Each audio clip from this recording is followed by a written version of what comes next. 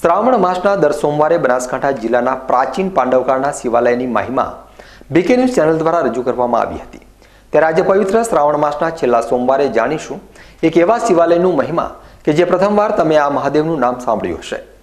જી હા, પાલનપુર તાલુકાના ગોળા ગામ નજીક આવેલા ગરડા મહાદેવના અમે દર્શન કરાવીશું. જે જિલ્લામાં આવેલ પાંડવકાળના પ્રાચીન મહાદેવ કરતાં આ ગરડા મહાદેવની દંતકથા કંઈક અલગ જ છે.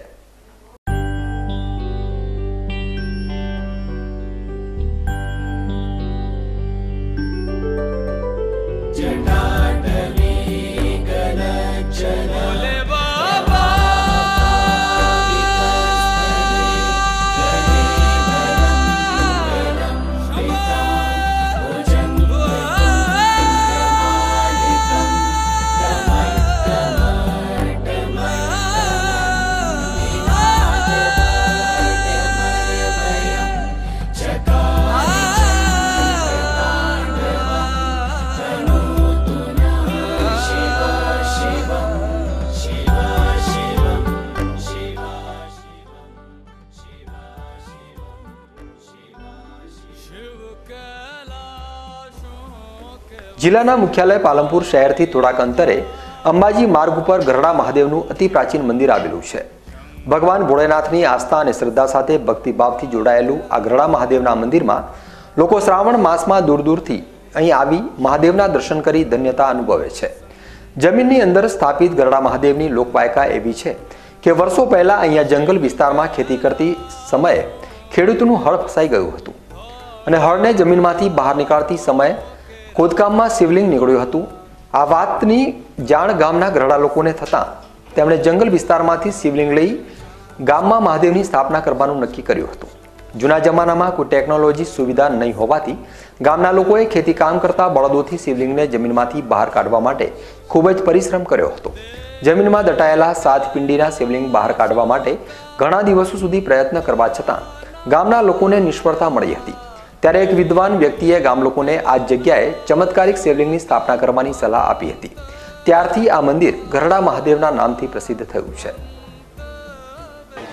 અહીંની ગરડા મહાદેવની દંતકથા એવી છે, અમારા વડવાઓ જે કહે છે પ્રમાણે, કે જ્યારે આજથી પાંચેક પેઢી પહેલાં મહાદેવને અહીંયા જે ખેડૂત ખેતરમાં હળ આંકતા હતા અને એ વખતે હળ હાંકતા હાંકતા એમનું હળ ફસાઈ જાય છે અને એ વખતે એમને આજુબાજુ ખોદીને જોયું તો અંદરથી શિવલિંગ દેખાય છે. એમને તો ગામના બધા લોકોને વાત કરે છે.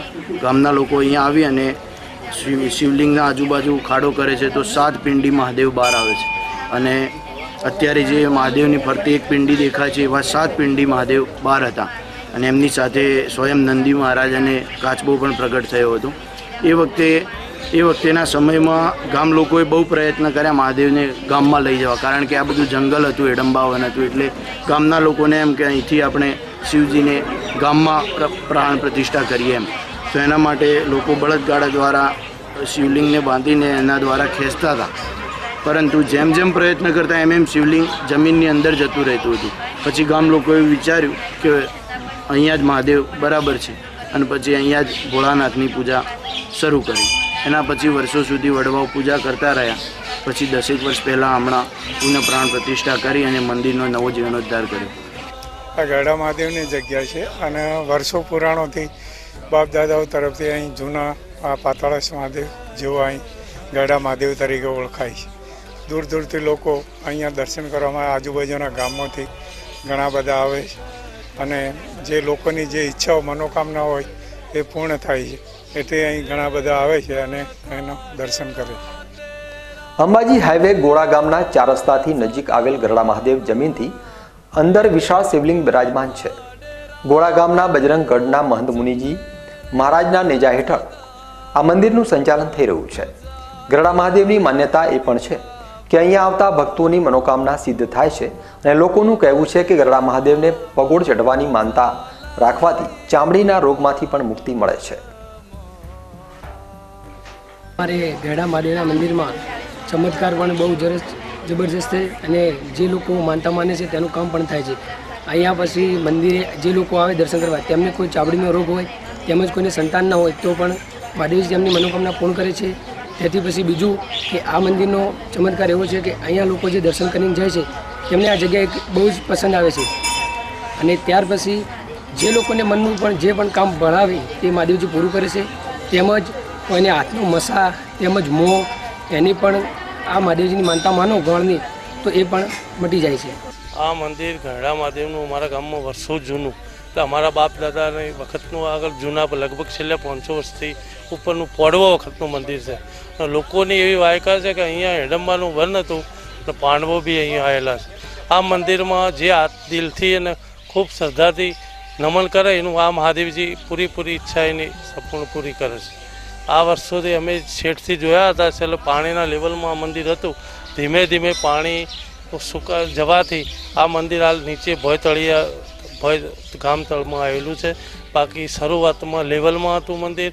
ઘરડા માણસો અમારા ગામના પ્રતિષ્ઠા કરવા માટે ગામમાં લઈ જવા માટે કોશિશ કરેલી અને એ વખતે આ મંદિરના કોરેમોરે ખોદકામ કરેલું. પણ દિવસે કામ કરે રાત્રે હતું ને એવું થઈ જતું. ત્યાર પછી લોકોએ આ મંદિર અહીંયા અહીંયા રાખેલું. મહાદેવજીની જે દિલથી અને દમનથી ખૂબ પૂજા કરે અને માતા ભગવાન ઈચ્છા પૂરી કરે. શંકર સંકટ